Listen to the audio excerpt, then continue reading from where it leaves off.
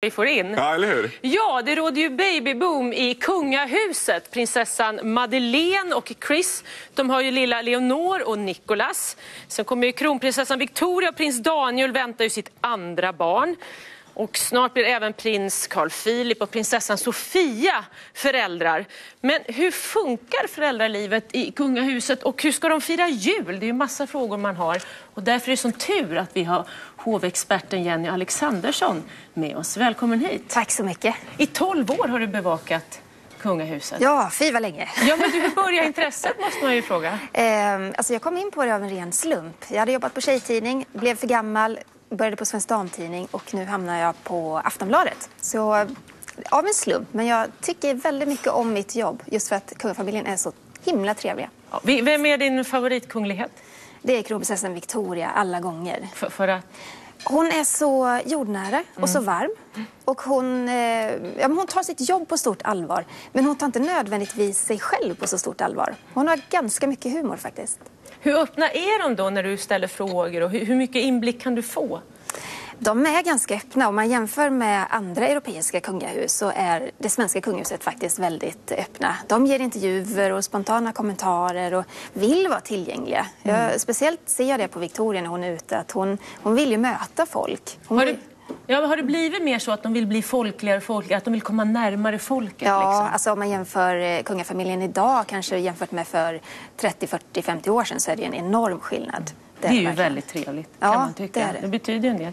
Du, du får ju även uppmärksamhet av, av internationell media. De vill Ja. ha dina uttalanden, eller hur? Ja, tysk media älskar vårt kungahus och Ja. även våra grannländer. Men, Men eh, även du har ju fått uttala dig.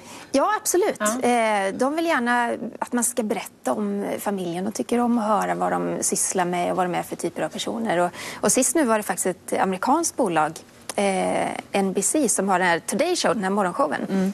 Eh, och det var spännande. De är jättenyfikna på Sofia speciellt, vår nyaste prinsessa. Vad vill de veta om henne? Eh, hurdan hon är. De är ju fascinerade av hennes bakgrund. Det Mm. är de ju såklart. Kommer det att följa henne hela livet tror du? Ja, på ett sätt så kommer det göra det. Men eh, jag tycker att hon verkligen har visat att hon vill någonting annat. Det är ändå tio år sedan det där Ja, jag hände. tycker hon har gjort en väldig resa. Hon har verkligen Ja, en strong tjej måste Ja, jag säga. Jag känner ju henne lite så jag, det är en tuff och strong tjej. ja. Men kanske kommer hon få höra det av och till. Mm. Men jag tror också att det spelar stor roll vad hon gör nu Mm. och vad hon eh, visar att hon vill göra. Hur ser de på det här med föräldraskapet nu? Hur spända är de? Vet du det? Ja, men de är ju jättespända. Första barnet och de har ju sagt själva att de ser jättemycket fram emot det. De vet inte om det är en kille eller tjej. Det ska bli en överraskning. Men eh, jag tror att de kommer bli superbra föräldrar. Och det förvånar mig lite. Jag har inte sett så mycket av Carl Philip i den här eh, ja, med papparollen eller hur han är med barn. Men senaste tiden när de har varit ute och rest och jobbat tillsammans så har man verkligen sett att han sätter sig ner på huk med en gång. Han vill snacka med de här barnen. Han vill eh, verkligen, verkligen eh, Ja, han kommer där. bli en toppenpappa tror jag. Vi såg verkligen. jättefina bilder på de här alldeles nyss.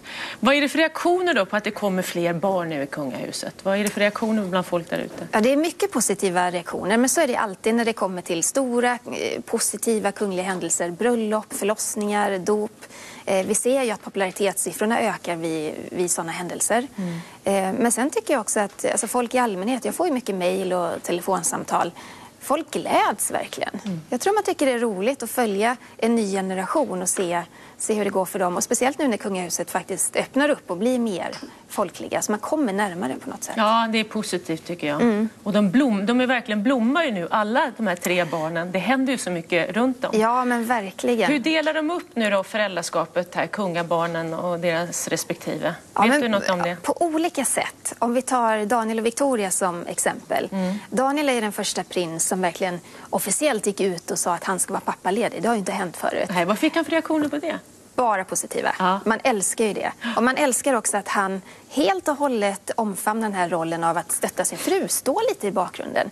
Det är hon som är den som jobbar hårdast och, och syns mest. Och, Mm. eh, Sen är han också väldigt noga med att Estelle ska få en så normal barndom som möjligt. Det är de båda två. Han tar med henne till öppna förskolan. Han tar med dem till 4H-gården. De åker tunnelbana tillsammans. Och jag tror att det verkligen borgar för att vi får en riktigt bra framtida drottning sen. Ja, det låter fantastiskt. Men nu kanske de är lite restriktiva med tanke på att det råder en hotbild i...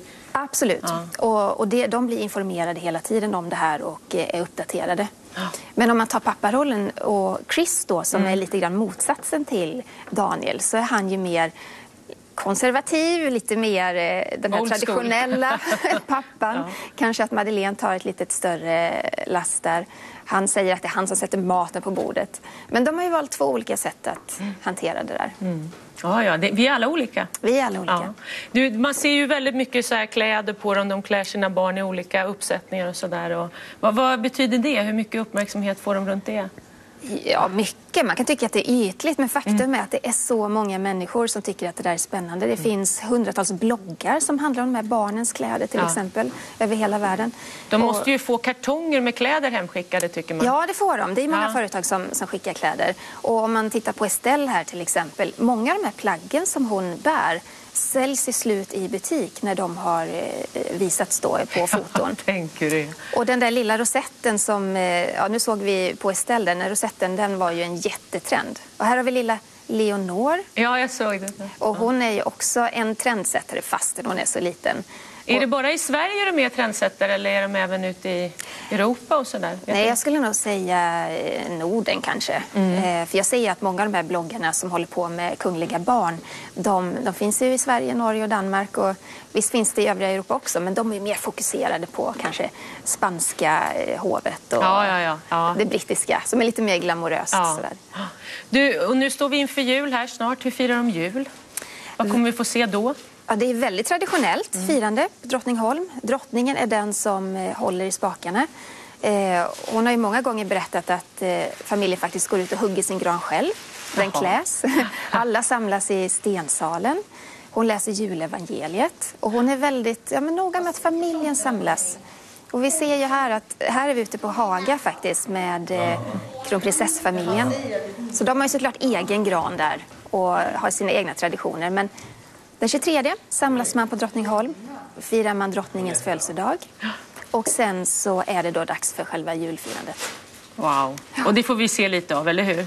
De ja, kommer att visa. Eh, det kommer tas bilder, lite. men det görs oftast lite i förtid. Mm. Så vi får inte se någonting från själva det privata firandet. Det håller de ju väldigt strikt på. Mm. Mm. Du har sagt att 2016 är ett superkungaår. Vad tänker du på då? Det är det verkligen. Man tror ju inför varje år att det kan inte komma mer bröllop och barn än vad det gjort det här året. Men nästa år så fyller kungen 70. Eh, det firas. Hovet har planerat det sedan i våras. Mm. Och drottningen och kungen de firar även rubinbröllop och det kommer uppmärksammas. Hon har också suttit 40 år på tronen. Och så är det då två barn och två dop. Ja, det har du helt rätt i. Tack snälla Jenny för att du kom hit och uppdaterade oss lite. Stanna kvar och smaka på mat och lyssna